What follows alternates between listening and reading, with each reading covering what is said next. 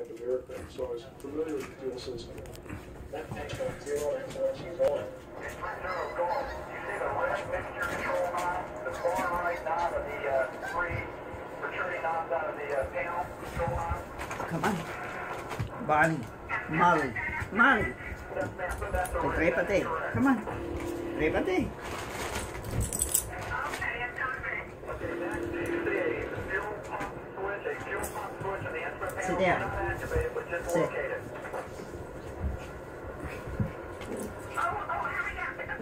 Okay, now push the tank now. Sit. Sit. To the right tank right now. She in fact didn't the fuel, and her engine started to sputter.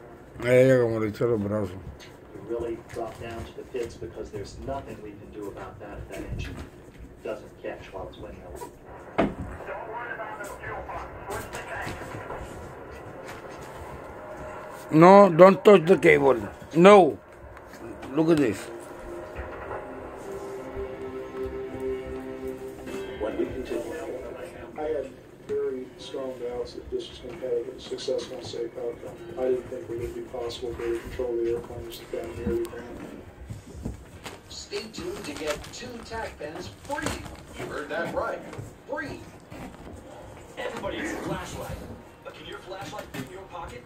The night super bright? And even save your life in an emergency? This one can. Dick Bolton here to tell you about the newest tac light innovation, the Bell & Howell Tac Pen.